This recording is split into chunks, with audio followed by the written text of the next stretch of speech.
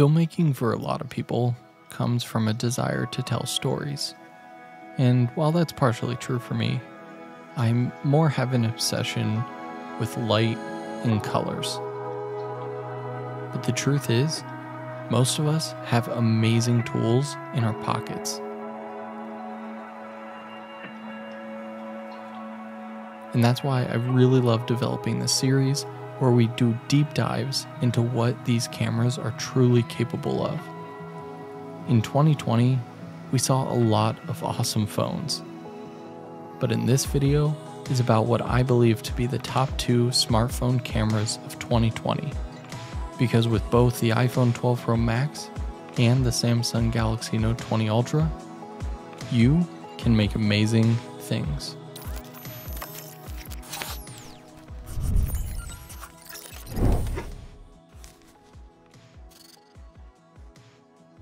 Speaking of amazing things, huge thanks to our sponsor, Beastgrip. If you want to learn more about how to win one of their brand new anamorphic lenses we'll be featuring in this video, keep watching to learn more details. With that out of the way, let's dive right in. Now I'm sure most of you know how things work around here on this channel, but just in case you're new, this is not your average type of phone comparison review. Quite frankly, I don't care about 99% of what phones have to offer. And so, sure, while I think it's cool that the new iPhone is squared edges and has a magnet on the back, and no, I don't really care that the Note 20 Ultra has a high refresh screen or built in pencil. But if you're interested in the camera and pushing it to the complete max and getting the most out of it, this is definitely the video for you. All right, so let's talk the stock camera apps. First, let's go with the simple one iPhone. Pretty much hasn't changed its software features for video in quite a few years, unless you count the ability to tap to change your resolution and frame rate. That's a pretty pro camera feature, wouldn't you say? Oh, and I guess you do have grid pro feature number two. And yeah, the only way to change exposure, of course, uh, everyone knows this, is the good old tap and hold to auto exposure, auto lock. It's a good thing we have third-party apps we'll talk about later. Moving on to the Samsung Galaxy Note 20 Ultra's stock camera app. Here, things get significantly better. Now, for the sake of this video, when I say stock camera app, everything we talk about is going to be in pro mode since this video is about pushing these cameras and using them in the most professional way possible. And in here, you get a bunch of settings. Yes, you can change the ISO, the shutter speed, go to autofocus, manual focus controls. Of course, you can change your resolution, your aspect ratio, your frame rates, and even has a nice little histogram button, which I oh so appreciate. If you go into the settings, you can have some advanced features depending on what resolution frame rate settings you're choosing. So if you're willing to step back from 8K, go all the way down to 4K, then you can get HDR10, which is going to be the nice 10-bit color, which is going to be a little bit closer to the Dolby Vision on the iPhone. So that's the features of the stock apps, but how does that translate into an actual final image? Because on paper so far, the Note 20 Ultra is definitely the superior, more pro camera than the iPhone is. But oh, the Apple debate of sneakiness is their ability to create something that is so simplified that you as the end user don't have a lot of options, yet it always gives you such a pleasing product. And that's exactly what I found using the 12 Pro Max. I mean, the Dolby Vision, of course, we've made a bunch of videos on the past couple months. It's fantastic. The flexibility you have in post, even though you're not meant to edit Dolby Vision beyond that, is amazing. And I've made an entire video on color grading Dolby Vision if you want to check it out, card above. But also the dynamic range on this phone is just absurd. A lot of these scenarios, especially when I was in the woods, um, it was a very bright sky with very shadowy woods and tree lines, and I never really had to think about it with the iPhone. We're going to talk more about these rigs in a couple minutes here, but anytime I had just the phone by itself, threw on the Beastgrip anamorphic, threw on the depth of field adapter with a cinema lens attached to it, I never had to think about it too much. It pretty much just always came out nicely exposed. And then the Samsung. When you get your settings right, this phone without a doubt can capture amazing quality video. But that's kind of the key is getting everything right. And even if you get your settings right you still have to make compromises. A very shadow tree line where it's backlit by the sun and bright sky pretty much gives you a silhouetted tree line with an exposed sky. If you exposed for just the ground you're to blow out your highlights and the sky is to be just bright white and very much not look cinematic at all. Now the most frustrating and hardest part about the Note 20 Ultra to me is the 8K sensor. Listen, it's clearly a marketing, not gimmick or scheme like it technically is 8K. And in my initial review, I talk about how good it can look, and that is still true. And if you notice any shots like this one where I shoot in 4K, it's a little wider, but then if I go to 8K, it has a heavy crop to it. In my head, it should be reversed where 8K should be wider and then 4K is cropped in. Moving on. Now let's talk about that 8K in comparison to 4K.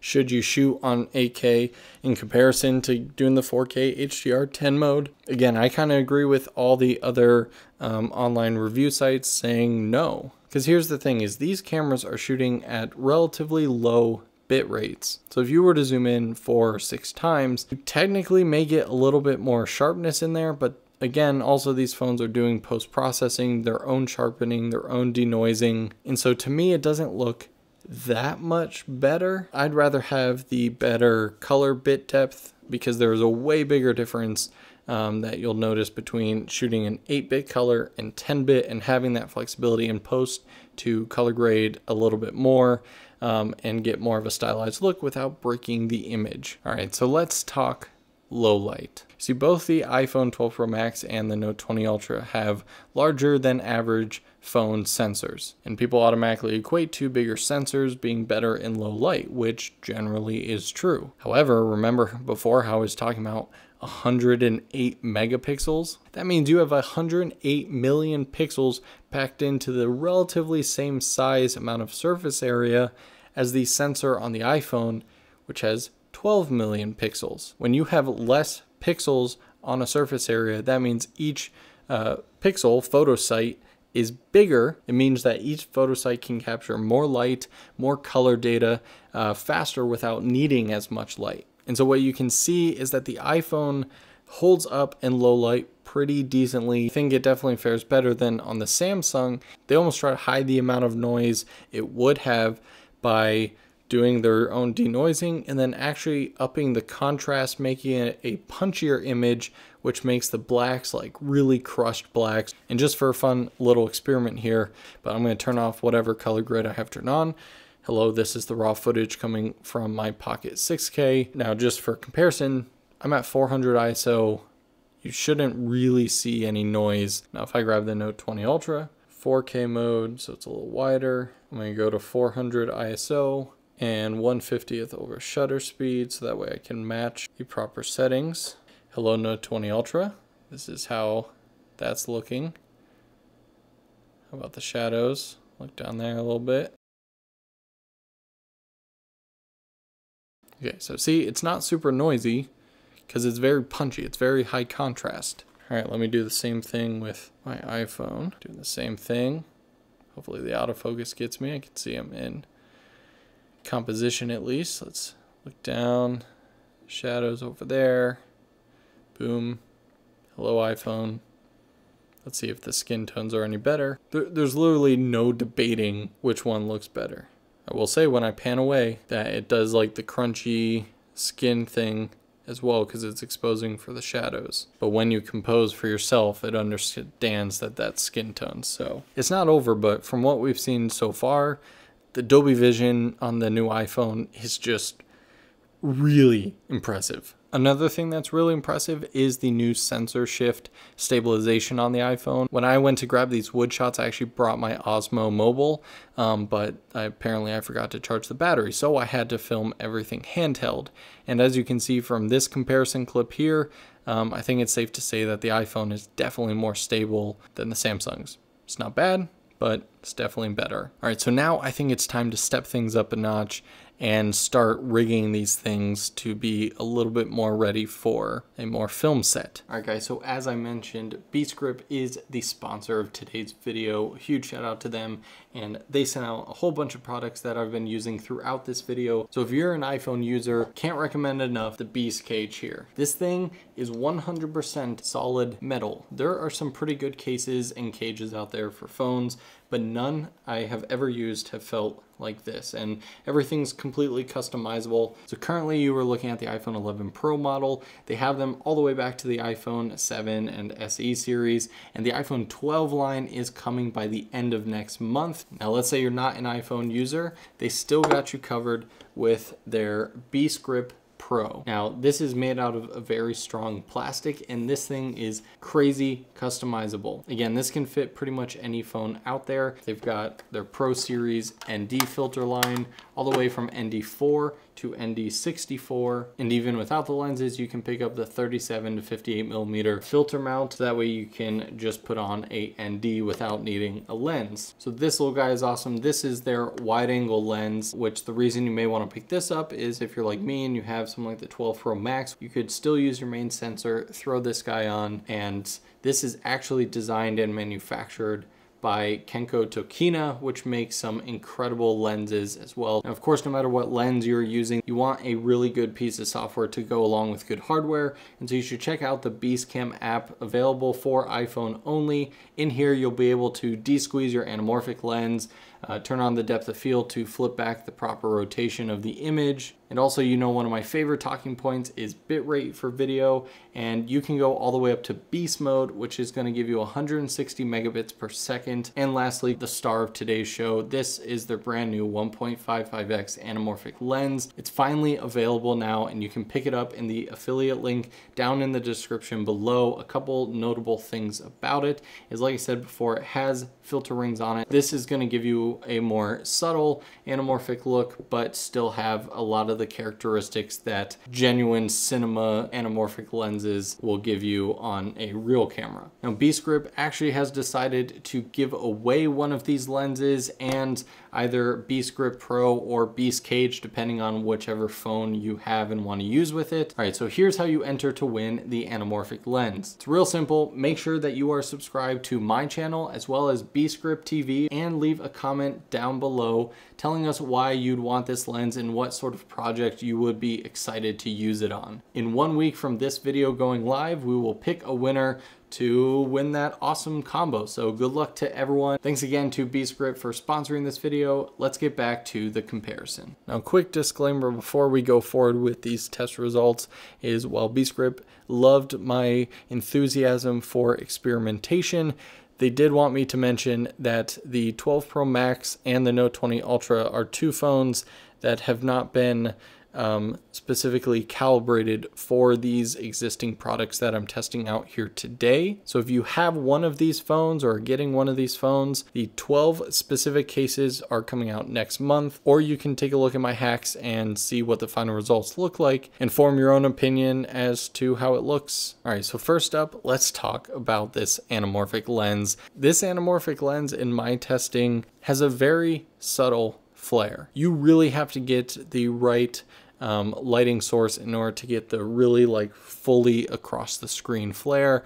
Most of the time you'll get a very nice kind of light halation or um, just a little streak or hint of that blue purple light. All anamorphic lenses have a huge distortion and this one being a 1.55x is a very widescreen view. This is a 2.76 aspect ratio. Most of the time when you see people do widescreen here on YouTube, it's like 239. And this is 2.76. This is ultra Panavision. And so on the edges, you are going to see that kind of barrel distortion. That is supposed to be there. It is not supposed to be straight lines. One last thing about the anamorphic lens is Beastgrip definitely recommends turning the stabilization off if you're doing a very slow moving or stationary, you can get away from, with some stabilization turned on, but if you do it too much, you'll definitely get some of that warpy feel. So it is recommended to turn that off. Now, obviously to utilize the anamorphic while shooting, you're going to need something to de-squeeze the image because anamorphic images automatically are squeezed. I highly recommend downloading the Beastcam app. The colors and the sharpness that you get from this app, I think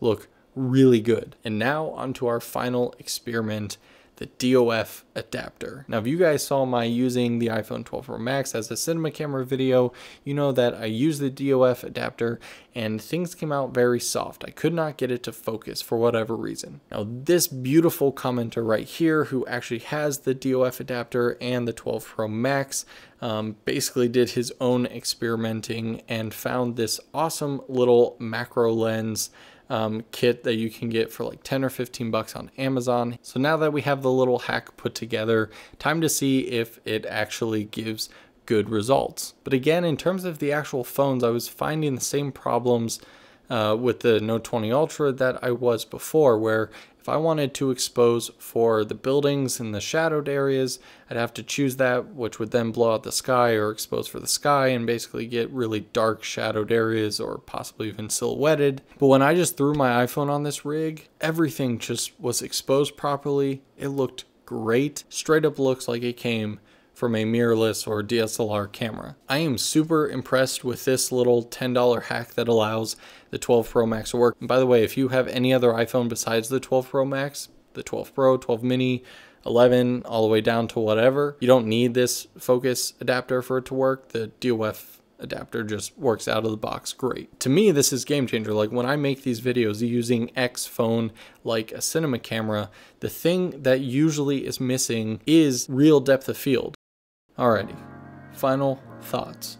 Like it's been a couple months since I had the Note 20 Ultra in hand, but I remember when I made the video on it that I was constantly impressed. And granted, I was comparing it to my 10s Max at the time, and I hadn't even tried like the Sony Xperia 2 or Google Pixel phones, and it still is a really good camera, don't get me wrong. I love the amount of options you have in shooting modes, but there's no clear winner as like this is what you should be shooting in because they boast about 8K video, but then you're stuck with 8 bit color not to mention a major crop in on your image. And so 4K HDR10 seems like the way to go, but then it's like, I want 8K. And I don't know, it's like they added all the right features and settings, they just didn't make the combinations right. And to me, that just says, hey, we wanted to be able to put 8K HDR10, and whatever other features on a poster board because this phone has all of them. Meanwhile, the iPhone, which frustrates the heck out of me for its lack of pro software features that allow me to change things without using a third-party app like Beastcam, it's one of those things where I hate to throw out the Steve Jobs line, don't crucify me in the comments, but it just works. Any rig that I attach it to or standalone by itself gorgeous. But hey, this channel is a democracy. What do you guys think about these two phones? Which one do you think won in my tests? Have you used them? Which one do you prefer in your daily use? And I'm just curious, out of all the Beast Grip products I showed off, which one is your favorite? Would you rather have the DOF adapter? Would you ha rather have the anamorphic lens? Remember, you have one week to enter the giveaway for the anamorphic lens. And don't forget to comment down below why you think you should win and what you would use the anamorphic lens for. And if this video brought you any value, don't forget to click that little thumbs up button. Huge thanks again to Beastgrip for sponsoring this video and just being an awesome partner in all of this and helping me experiment and really try to push these videos and elevate them so that I can push mobile filmmaking further. Thanks so much for watching guys, and I'll see you in the next video.